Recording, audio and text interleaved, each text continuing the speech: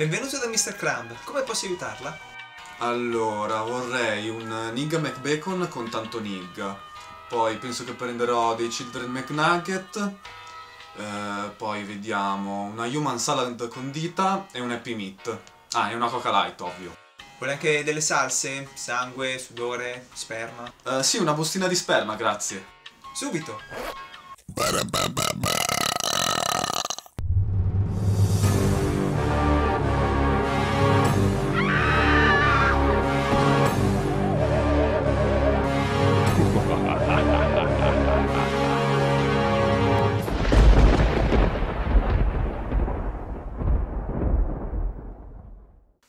pagliacci e benvenuti ad una nuova puntata di Cinema degli Eccessi.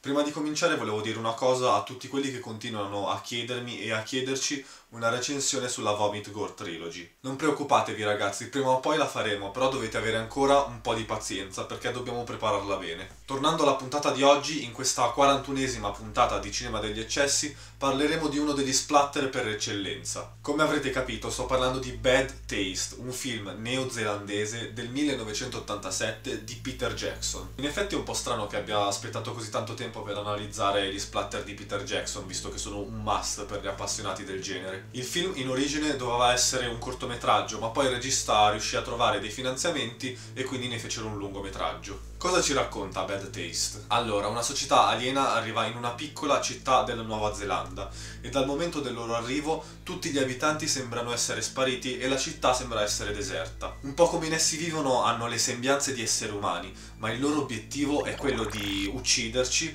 e usare la nostra carne per un fast food intergalattico, il fast food di Mr. Crumb. Direi fantastico, non trovate? Sembra quasi una puntata di Futurama. Stiamo parlando di uno splatter demenziale, per cui la violenza che c'è, per quanto eccessiva o comunque truculenta possa essere, è trattata in maniera molto leggera e divertente. Innanzitutto abbiamo un sacco di teste staccate, spappolate e cervella sparse per tutto il film. Vomito verde rigurgitato e poi bevuto, corpi trapassati, manichini smembrati, eccetera eccetera. Anche se personalmente, avendo visto Splatters prima che, che è stato girato dopo, mi aspettavo qualcosina di più riguardo alla violenza. Quello sì che è davvero assurdo. La tecnica del film, pur essendo molto amatoriale, è molto efficace. Non so se per volontà propria o per scarsità di mezzi c'è un uso smodato della camera a mano, anche per movimenti di camera che dovrebbero essere affidati a della strumentazione più specifica. Voluto o no, questo effetto scuote molto lo spettatore, che si sente un po' confuso da tutto questo movimento e da tutto questo tremolio. Questo uso della camera a mano è alternato nelle scene esterne, si vede benissimo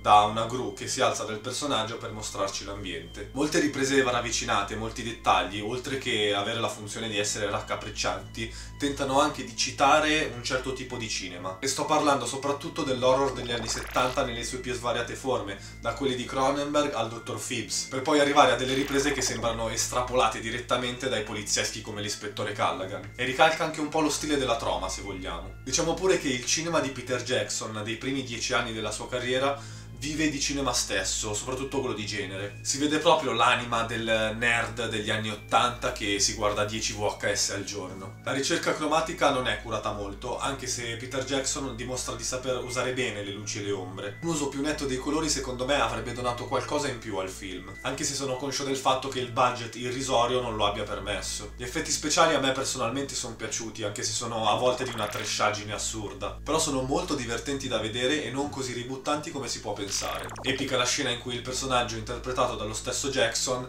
mangia la calotta cranica, anzi metà testa di un tizio col cucchiaio, ce l'avrete presente tutti quell'immagine. Tanto bellissimi quanto pessimi e inguardabili sono gli alieni nella loro vera forma, con le chiappe di fuori. Mix di mille citazioni e citati a loro volta in mille altri film. Nonostante il film sia molto cazzone c'è una piccola volontà di criticare l'industria dei fast food e del loro franchising spietato, anche se secondo me il regista non è che sia stato molto molto lontano da questi posti. Altri sensi lati o una filosofia di base purtroppo non le ho percepite e secondo me non ci sono proprio. Un po' si sente questa mancanza se pensiamo che anche la troma nella sua tresciaggine, nella sua eccessiva pessimezza riesce a metterli dentro. Però sappiamo tutti che Jackson è molto più proiettato verso l'intrattenimento che per scopi più alti. Però devo dire che come intrattenitore secondo me sa fare il suo mestiere.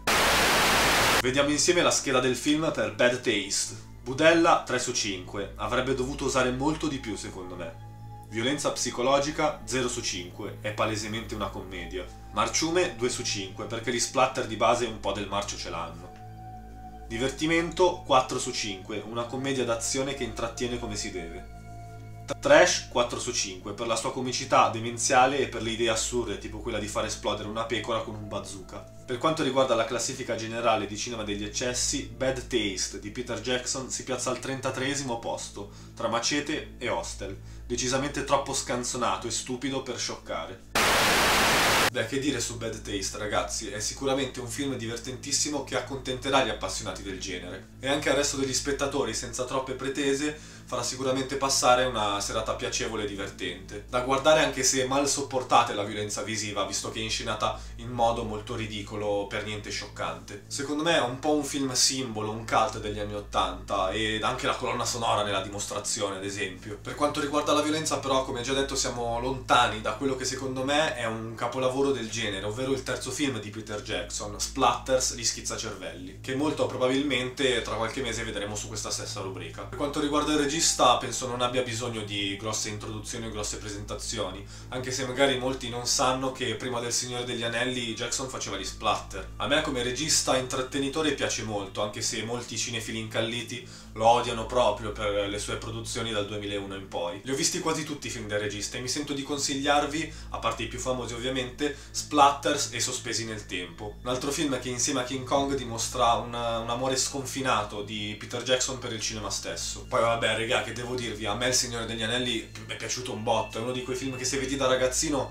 non puoi non amare. Ed è anche sicuramente grazie a questa trilogia che mi sono appassionato al cinema. Mi mancano giusto 3-4 film, ma cercherò di recuperarli al più presto. Volete un parere velocissimo sull'Hobbit? Secondo me il peggio della filmografia di Peter Jackson, ma a me continua a divertire. Sarà che non riesco a giudicarlo molto come un, un'opera artistica, cinematografica, ma come puro intrattenimento e secondo me quel lavoro lo fa pareri sul regista e sui film e su quello che volete ovviamente sono ben accetti, commentate pure. Pagliacci miei, anche la recensione di oggi finisce qui. Mi scuso per la brevità del video, ma a parte che è periodo di esami e quindi è periodo di merda. E poi questo film non richiedeva molta analisi, lo capirete anche voi, non c'è molto da dire. Anche se secondo me andava fatto per completezza della rubrica, che si chiama Cinema degli eccessi. Settimana prossima giuro che non sarete delusi perché affronteremo, per quanto riguarda il cinema degli eccessi classico, uno dei cult più estremi di tutta la storia del cinema, vi assicuro che non rimarrete delusi. Se volete degli indizi non vi resta altro che andare a mettere mi piace sulla nostra pagina Facebook che spesso carichiamo qualche giorno prima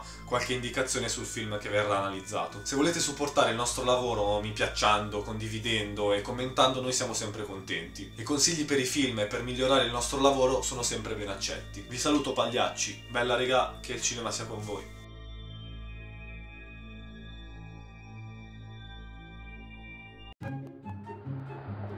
Hai avuto proprio una bella idea a portarci qui. Tokyo è una città fantastica. Vero? Ma che cazzo? E ti pareva. Ok, c'è solo una cosa da fare. Andre, tu pensa a distrarlo!